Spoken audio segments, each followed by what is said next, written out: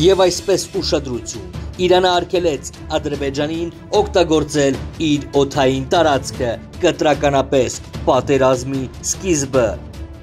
Իրանն արգելել է Ադրբեջանին իր օդային տարածքով ռազմական թռիչքներով թռչել Նախիջևան։ Իրանը ադրբեջանական լարվածությունը շարունակում է աճել։ Իրանն արգելել է Ադրբեջանին իր օդային տարածքով ռազմական թռիչքներով թռչել Նախիջևան։ Նշենք, որ պաշտոնական Բաքուն ժամեր առաջ փակեց Իրանի գերագույն առաջնորդ Ալիի գրասենյակը։ Այս մասին հաղորդում է Republic of Artsakh Telegram-յան ալիքը։ Փակվել է Ադրբեջանում Իրանի գերագույն առաջնորդ Խամենեիի ներկայացուցչությունը Օջախ Նեջաթի Բաքվի գրասենյակը։ Ինչպես Kavkaz-Info-ին ասել է Ադրբեջանի ՆԳՆ մամուլի ծառայության ղեկավար ոստիկանության գնդապետ Էհսան Զահիդովը, պարզվել էր, որ COVID-19 վիրուսով վարակված մարդկանց թիվը վերջին օրերին ավելացել է քաղաքի որոշ վայրերում։ Նման վայրերից մեկը Հուսեյնիա մսկիթն էր։ Այդ պատճառով այդ վայրերը, այդ թվում մսկիթը փակվել են։ Ներկայումս համաճարակաբանական ծառայությունն այնտեղ համապատասխան միջոցներ է ձեռնարկում։ Նյութի աղբյուրը yerevantimes.com Սերժ Սարգսյանը պատասխանել է Իլհամ Ալիևին։ Հայաստանի Հանրապետության երրորդ նախագահ Սերժ Սարգսյանը պատասխանել է Ադրբեջանի նախագահ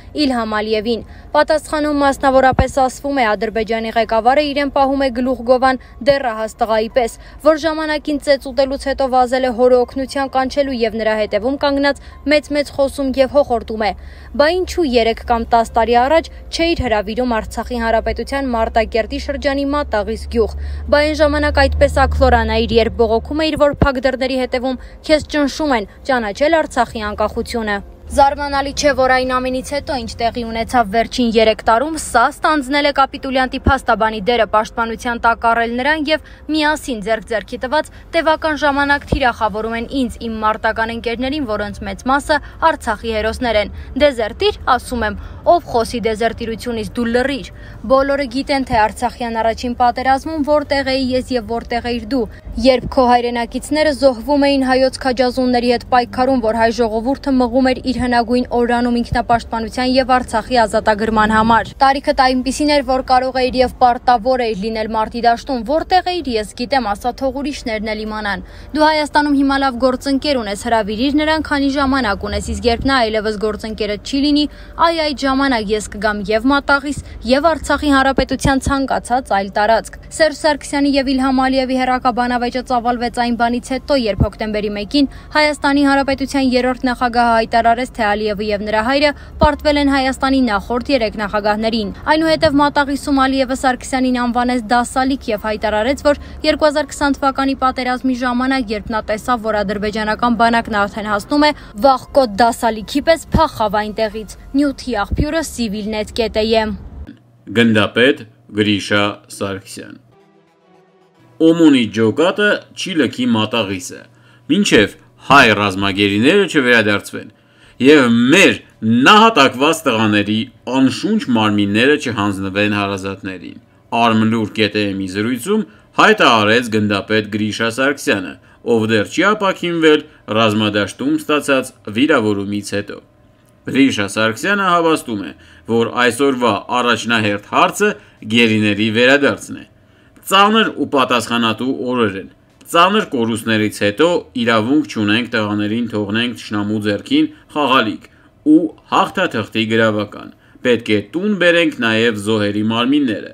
Մենք հայ ենք, ու մեր նահատակված տղաների մարմինների համար հայոց հողը պետք է դառնա անկողին։ Կոչ եմ անում բոլոր ազգանվեր անձանց եւ հրամանատարներին չլքել դիրքերը։ Մինչև չվերադարձվեն մեր ռազմագերիները եւ զոհվածների դիերը թասիբ ունենանք եւ միասնաբար լուծում տանք այս հարցին։ Օմոնի մարտիկները խրոխտաբար պայքարել եւ պայքարելու են, նշեց Գրիշա Սարգսյանը։ Գնդապետ Սարգսյանը հավելեց, որ օրերս հերթափող կկատարվի մատաղիսի դիրքերը պահող հայրենանվեր օմոնականների շարքերում։ Հիշեցնենք, որ միլիցիայի հատուկ նշանակության վետերանների միության Օմոնի ջոկատը Ադրբեջանի ու Թուրքիայի կողմից սանձազերծված պատերազմի առաջին իսկ օրը մեկնեց առաջնագիծ։ Որոշ մարդիկ դարձել են շատ լուրջ հայրենասեր, որոշները երկնքից են իջել կարծես ոտները ամպոտ են, առանց մոռանալու, որ այս կյանքում ինչեր ունեն արած, կամ արդյոք ունեն որևէ բան արած։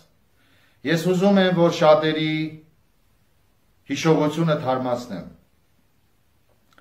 Երբ Շիրակի մարզի, Գյումրի քաղաքի եւ առհասարակ Հայաստանի Հանրապետության բոլոր տարածքներում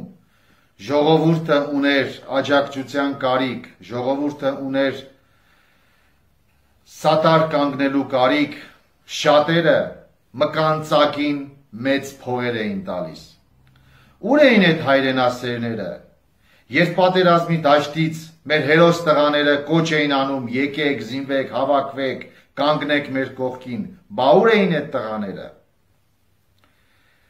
Թե ժամանակները գնում էին բժիշկներին խնդրում էին, որ իրենց կարողանային տրամադրել կորոնավիրուսի թուղթ։ Այդ հայրենասերները երբեք մի զինվորի դուր բացեցին,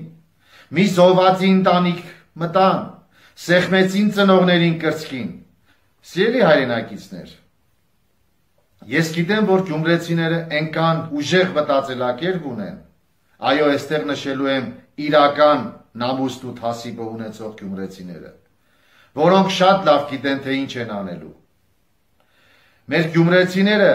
վաղուց ի վեր ճանաչում են բոլորին եւ եթե մենք դերևս վճիր չենք կայացրել։ Դա դեռ չի նշանակում, որ պակասել է մեր ուժը։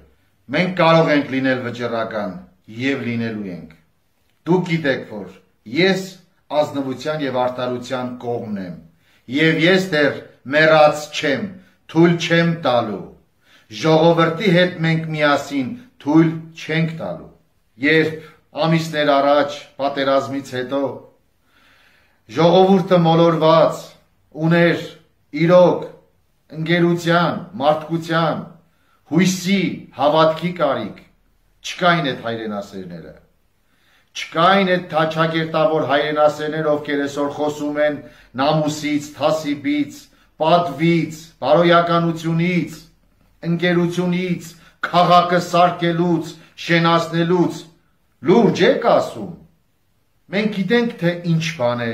լինել սիրված։ Մենք նույնիսկ գիտենք ինչ բան է սիրել, բայց մենք կարող ենք նաև ատել։ Արտարները մտածելու ոչինչ չունեն։ Մեղավորները ունեն մտածելու եւ պատասխան տալու։ Սիրելի հայրենակիցներ,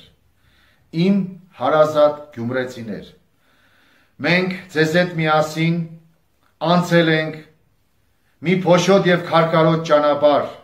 ամիսներ շարունակ այն ժամանակ երբ երգիրս օգնության